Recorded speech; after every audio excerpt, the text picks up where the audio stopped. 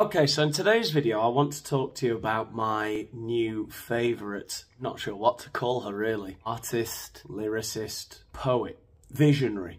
Dreamweaver. The bard herself, Sexyy Red. I'm out of town, thugging around, my coochie pink, my booty hole brown. Now, a lot of people my age who live a similar sort of lifestyle to me, you know, married with a couple of kids, they start to become, and it's sad to watch really, they start to become a bit uncool, a little bit out of touch. I don't know why, that just hasn't happened to me. I work with teenagers every day as, a, as an English teacher, and I can just tell they see me as one of their own. I'm like Jane Goodall, just seamlessly infiltrating a troop of gorillas. I'll just rock into the classroom uh, in the afternoon, and I'll be like, hey, Diego, did you see that latest thing that's trending on TikTok, whatever?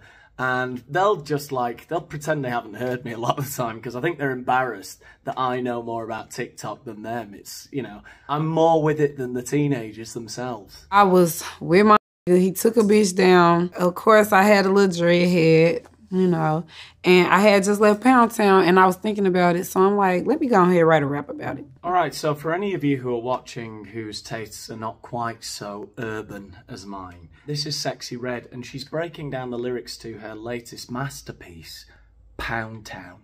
I'm out of town, thugging with my rounds, my coochie pink, my booty hole brown. Where the I'm looking for the hoes. Quit playing, nigga. Come suck now, Ben Shapiro did a reaction video to this song, to this composition, the other day, and I think he missed the point entirely. Yeah, he made a few funny jokes about the lyrics, okay?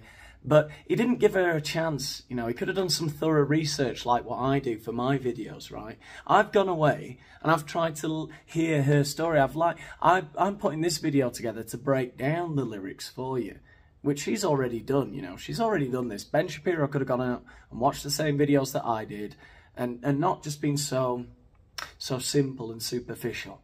You know, yeah, she's saying my cushy pink, my booty hole brown, right? But what does she actually mean, all right? You know, we can't all be Morrissey. And in fact, when you think about it, when in Morrissey's, in the Smiths song, uh, Stop Me If You Think That You've Heard This One Before, he says, uh, I was delayed, I was waylaid, an emergency stop, I smelt the last 10 seconds of life, I crashed down on the crossbar, the pain was enough to make a shy bald Buddhist reflect and plan a mass murder. What's he really saying? He's talking about someone falling off their bike, isn't he? It's not, or maybe, you know, like the sort of hyperbolic overly elaborate story a battered wife might tell a nurse. Or something like that. Anyway, the point is, if we just listen to Sexyy Red, she will reveal the esoteric, the, the kind of the, the the the nuances that you have to that you can't really grasp unless you're a part of that culture, uh, like I am.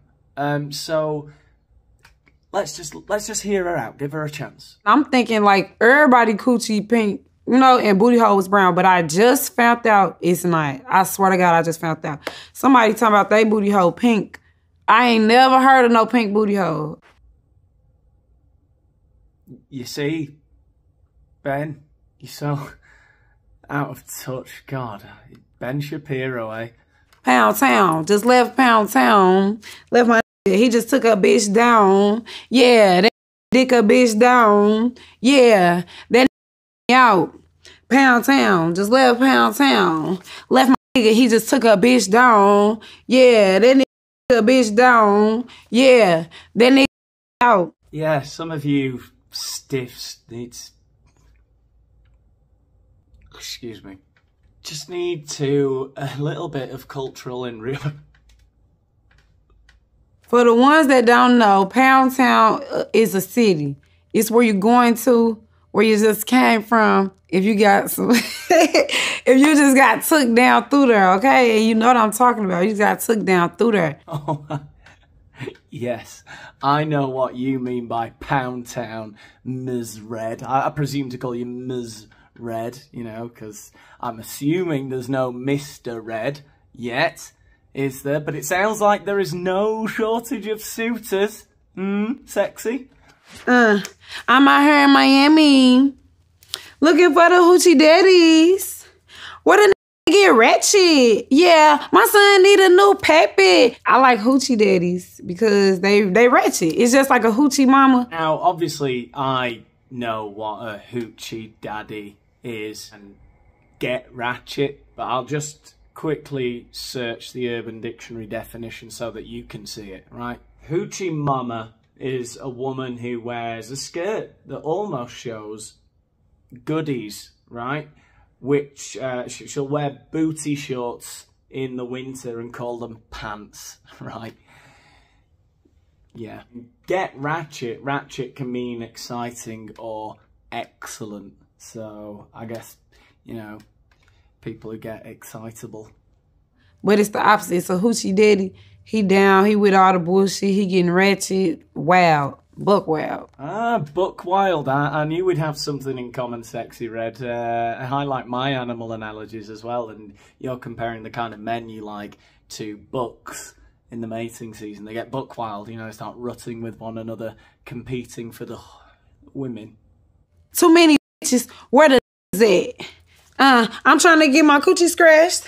Yeah, I'm trying to get my coochie stretched. Yeah, you know them dreadheads do it the best.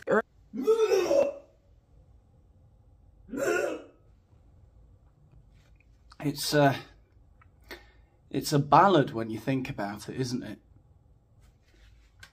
Everybody always be saying, what do you mean when you say you're trying to get your coochie scratched? What you saying?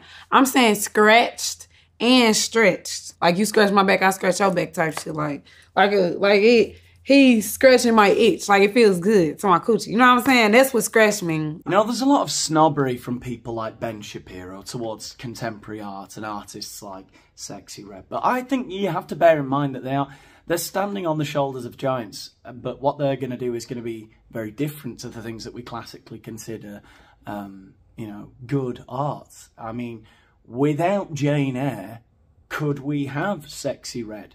You know, without Charlotte Bronte writing about the plight of a woman who, you know, she was just resigned to the fact that there were too many bitches and she didn't even feel like she deserved.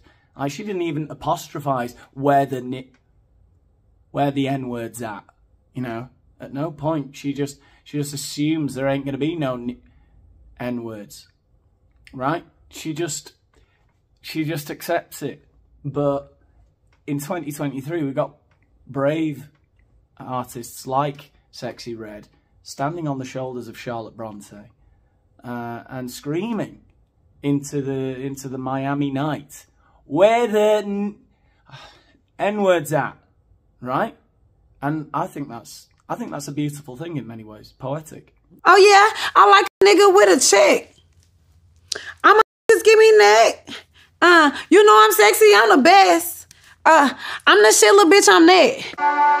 Fascinating. Well, my friend gave me the name Sexy a long time ago, but it's true. Like, I am sexy. Mm, okay, Ms. Red. It's good that you're self-confident, but we don't want that to spill over into arrogance now, do we? Calls herself Sexyy Red. Sexy is spelled with two Y's. I don't know what the second Y adds to uh, the pronunciation. It's sexy.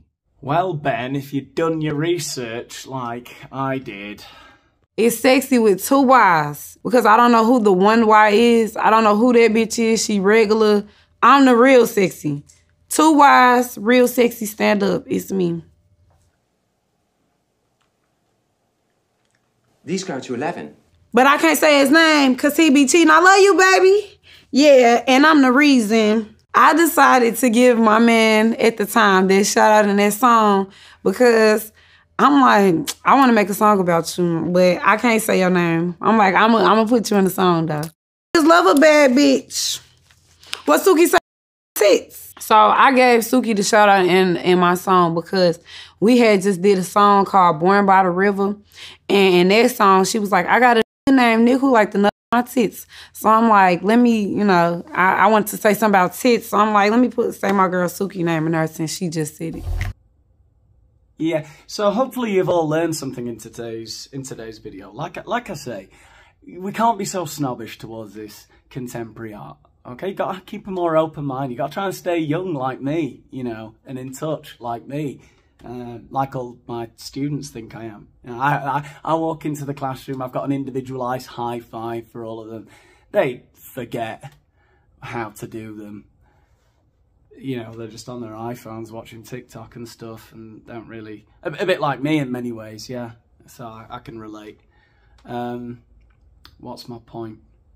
I guess my I guess the main point to take away from this video is if Charlotte Bronte, with her brilliant mind, were alive today and she were writing Jane Eyre today, it would be the same brilliant story, the same brilliant mind writing the novel, but I'm sure a lot of the language would be very different. You know, uh, details from the behaviour of the characters would change. You know, it, you wouldn't have Jane Eyre weeping in a corner because, ooh, I can't possibly live in sin. No, she'd be there like, hey, bitch, I just want to get my coochie scratched, my booty hole brown, right? Don't you think? You know, you're lying to yourself if you don't. Keep an open mind, all right? If you've enjoyed this video, like it, share, subscribe. Maybe you can let me know in the comments the colour of... Don't do that. That's... No. I'll see you in the next one.